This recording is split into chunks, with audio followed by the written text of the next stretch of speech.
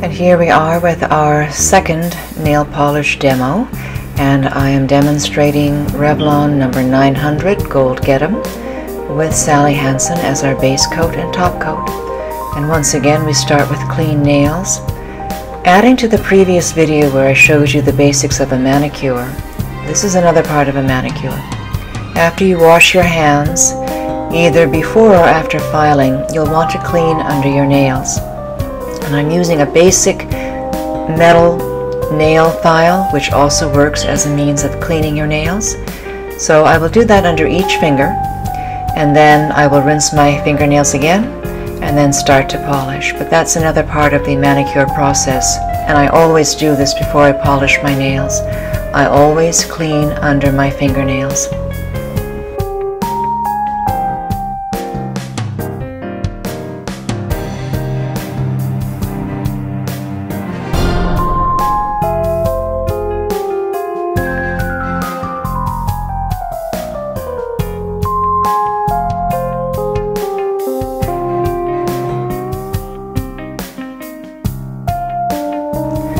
This is the basic first step with any manicure after you've cleaned your nails, file them and rinse them. You want clean dry nails. We start with a base coat. Always use a base coat. It helps the nail color adhere better to the nail bed. It helps the manicure to last longer. It also prevents the color from bleeding into your nails or discoloring the nail bed. Often when you use red or brown nail polish, You'll find that after several weeks, when you apply that color, the nail bed starts to turn a yellowish color. So try to use a base coat just to protect your nails and to help the nail color adhere better. So we'll start with a base coat, then two or three coats of color, and then a top coat.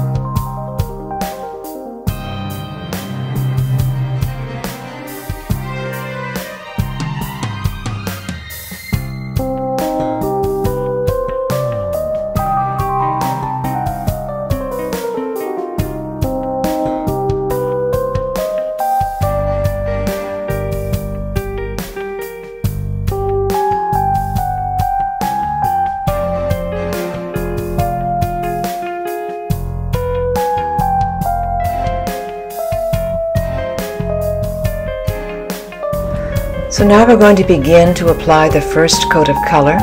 This is Revlon number 900 Gold Get 'em. I bought this nail polish in August of 2010. This nail polish is literally 10 years old. I store my nail polishes in the refrigerator. They keep longer, they keep fresh. Every so often, maybe once every other week, every three weeks, I shake them to keep them nicely mixed. But if you want your nail polishes to last longer, I recommend storing them in the refrigerator. I keep one or two in a medicine cabinet so they're at room temperature, but store your nail polishes in the refrigerator if you want them to last longer. that's a little tip you might find useful.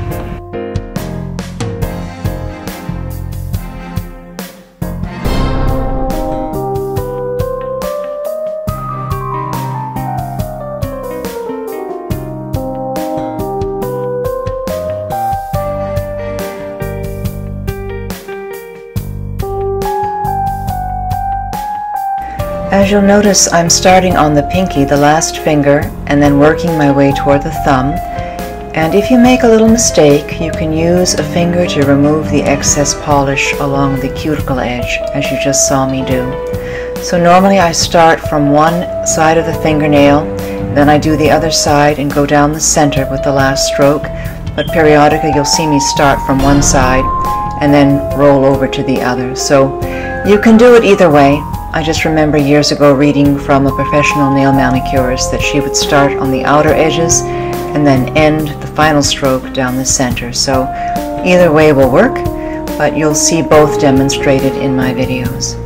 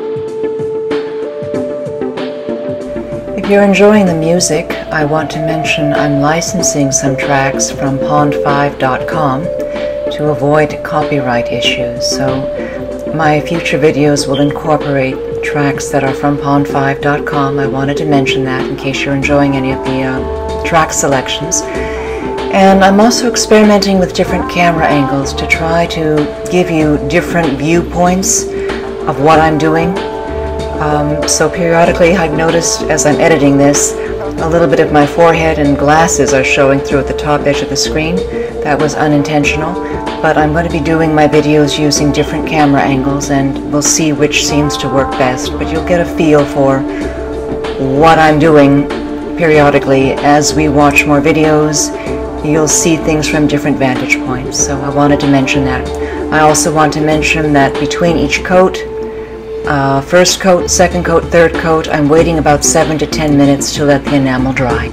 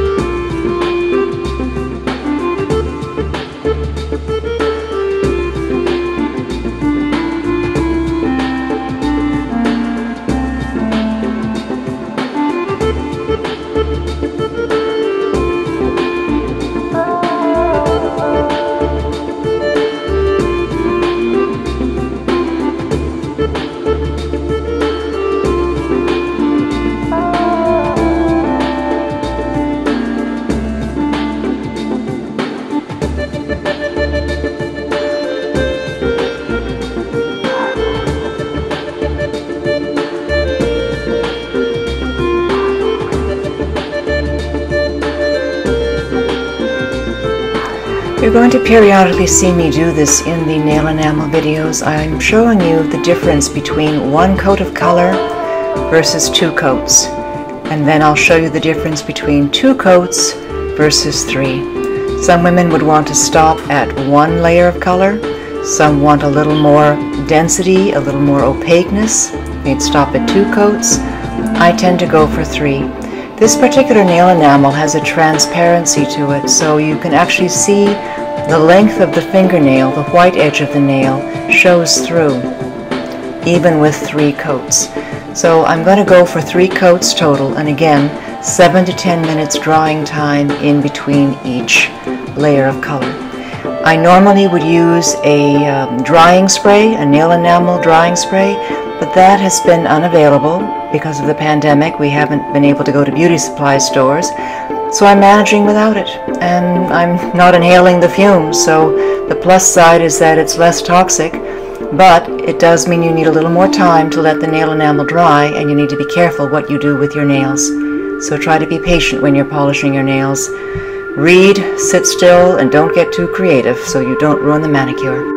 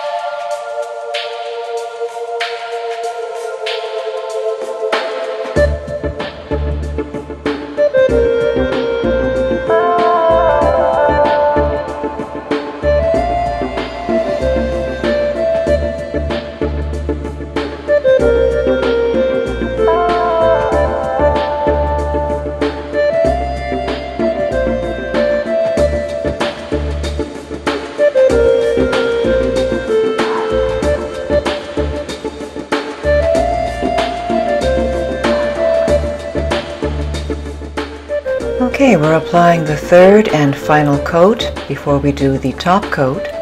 There will be about 22 more videos for me to present to you regarding nail polish application and demos. There's my forehead again, a little distracting, sorry about that.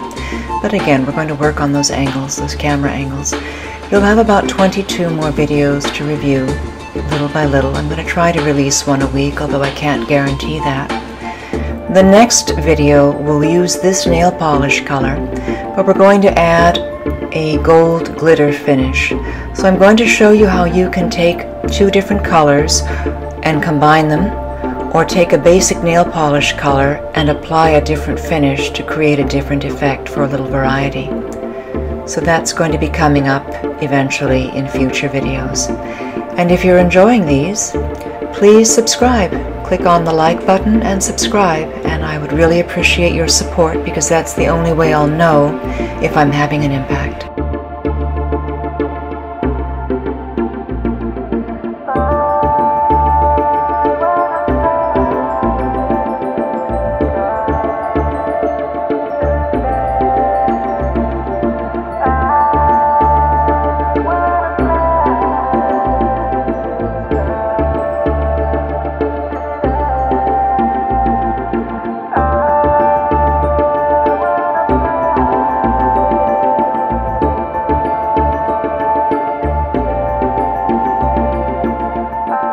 So here is our visual demonstration using the turning of the hands.